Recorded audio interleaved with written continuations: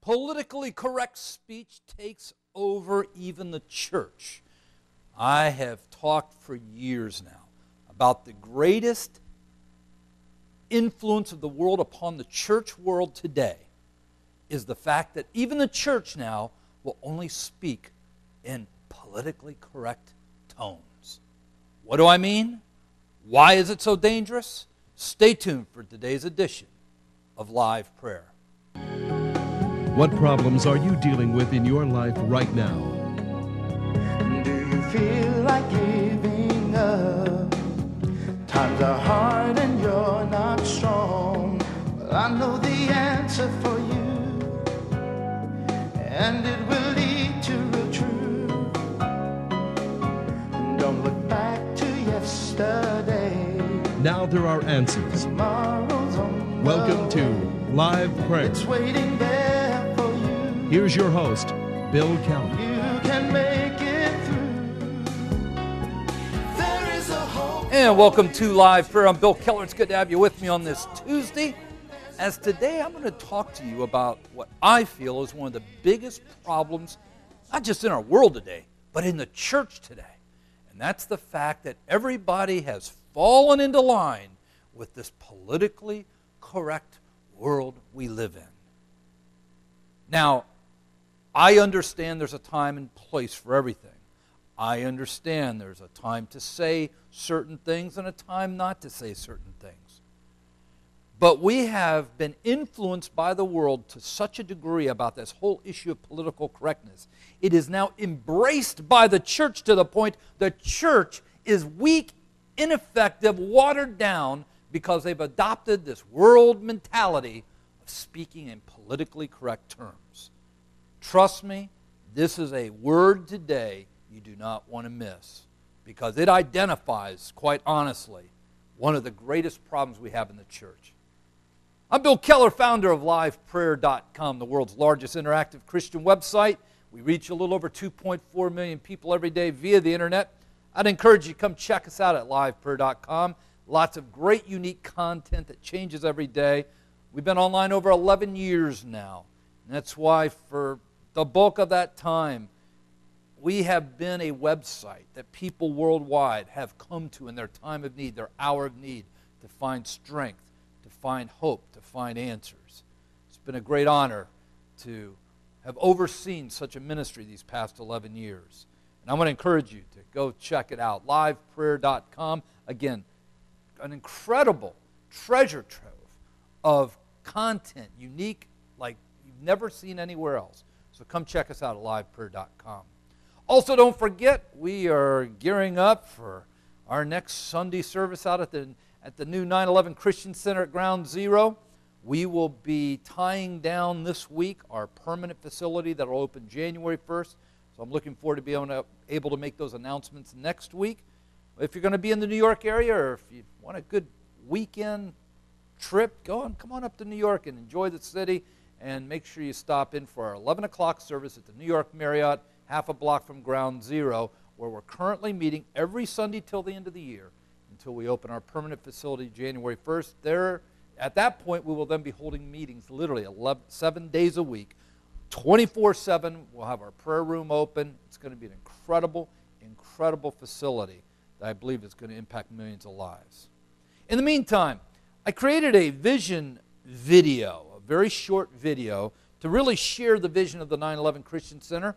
I want to play that for you right now. And I want you to just sit back and really embrace with me what God has called us to do at Ground Zero. I'm Bill Keller, founder of LivePrayer.com. Recently, it was publicized that the Muslims would be building a mosque at Ground Zero. Let me make sure you understand that this was a purposeful and premeditated act. This is not an accident. They already have many mosques in New York City. This was done in a very well orchestrated way. This mosque at Ground Zero will be a memorial to the greatest triumph of Islam in 1400 years 9 11, 2001, when their Muslim brothers flew those planes into the World Trade Center towers. More of their Muslim brothers went into the Pentagon. Others headed to the Capitol, were courageously ditched in the fields in Pennsylvania. But make no mistake about it, this mosque at Ground Zero is a memorial to the greatest triumph of Islam in 1400 years. It will be a place where they will teach this generation, future generation of Muslims, how to hate this nation, how to turn this nation into a Muslim land, which is their ultimate goal. They will teach people Sharia law, the law that Islam is governed by all over the world. What is our response as Christians? I thought and prayed hard about this.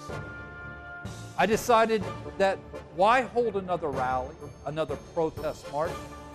That a few hours after it over, it was over, everybody would go home and forget about it. Nothing would change.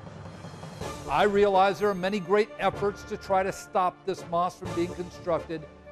And while I pray they're effective, and while I pray that they will be successful, in my heart of hearts, I know that the Muslims, with their massive amounts of money, will be ultimately victorious. This mosque will be built. We don't need another protest. What we need is a bold, visible response to what the Muslims are about ready to do at Ground Zero. That response is the 9 11 Christian Center at Ground Zero. We aren't going there with swords, we're going there with the gospel of Jesus Christ. This is like Elijah on that wonderful day where he invited the prophets of Baal to Mount Carmel and said, Let's see whose God answers by fire. Today I issue that same challenge to Imam Feisal Rauf, the Imam of the Ground Zero Mosque. You bring your false God, I'll bring the God of the Bible, and we will see which God answers by fire. Phase one, we will hold services every Sunday, starting September 5th at 11 o'clock through the end of the year at the New York Marriott, right by Ground Zero. As of January 1st, we'll move into our permanent facility at Ground Zero, where we will hold evangelistic meetings seven days a week. We will have a special 9 11 memorial prayer room for visitors to Ground Zero and those who work in the financial district, those who live in, in that area to come and pray. I know that as time goes on, the Muslims will try to silence me. They will try even to kill me. But the gospel won't be stopped. And I need you to help me today. I need you to stand with me. Many people are outraged by what is about ready to happen at Ground Zero. And people say, How can my voice be heard? You can stand with me and the 9 11 Christian Center. Go to my website, liveprayer.com. On the left menu bar, click on the donation link. There is a secure server there where you can give via a major credit card, you can give via PayPal, or you can just drop a check to our corporate headquarters in St. Petersburg, Florida.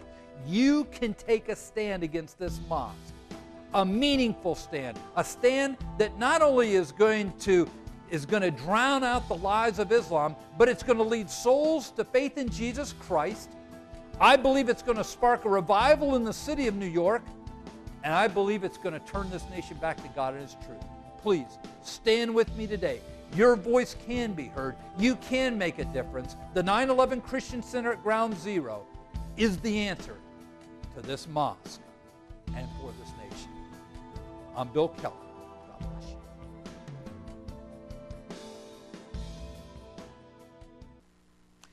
That's the 9 11 Christian Center at Ground Zero. Hopefully, you'll be able to make it to New York City before the end of the year and come join us for one of our great Sunday services there at the New York Marriott. All right, we've got our first break of the day. When I come back from this short commercial break, I'm going to share with you what I believe in my heart of hearts is probably the greatest problem we have in the church today, and that's the fact that the church has bought in to this worldly mentality of speaking in politically correct terms. It's a message you don't want to miss. I'll be right back. I'm Bill Keller of Live Prayer, and I need your help. God has challenged me to open the 9 11 Christian Center at Ground Zero. This is a response to the new mosque that's being built within a block of the, the World Trade Center towers used to stand. The Muslims are spending $110 million to build this mosque. God said to me to go put a Christian center within a block of ground zero, and that's what we're doing. We're going to open the center on Sunday, September 5th. I'll be flying personally to New York to hold those services every Sunday till the end of the year. And then starting January 1st, the center will literally be open 24 7. We'll hold evangelistic services there every day. We'll have a special 9 11 memorial prayer room so that those who come to New York City to visit that hallowed ground will have a place to come and meditate, pray, just spend some quiet time. This is a great undertaking. I can't do this alone. I need your help. To give a gift to the 9 11 Christian Center, you can go to liveprayer.com. Click on the donation link on the left menu bar. There you will find a secure server so you can make a gift with your major credit card or you can give via PayPal. Or if you want to just drop a check to us, that's great. You can send that to our headquarters in St. Petersburg, Florida. That address is on your screen. In the information line of your check, just put 911 Christian Center, and your gift will go to this great undertaking. Islam is a 1400 year old lie from hell. The audacity of the Muslims to build a center in the shadows of the where the Trade Center towers that their Muslim brothers knocked down, killing 3,000 innocent people, is a travesty. People are upset. I'm upset, but we're taking action. Sunday, September 5th, we will put our faith to the test as we open the 9 11 Christian Center at Ground Zero. I need your help. I need your prayers. I need your support. Thank you, and God bless you.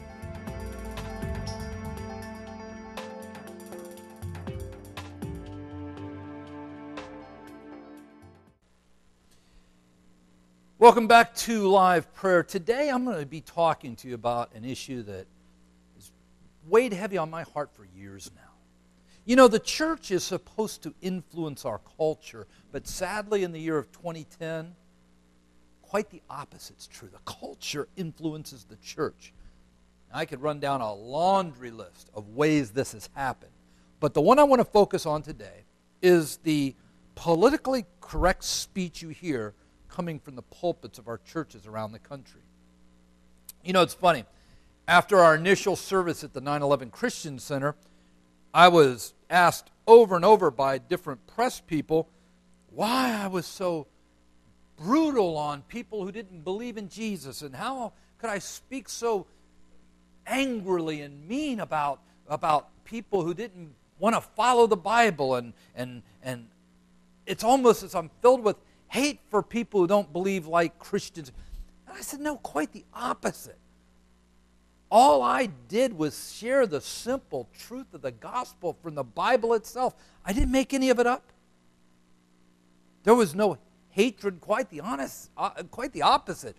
That was a message of the greatest act of love there is.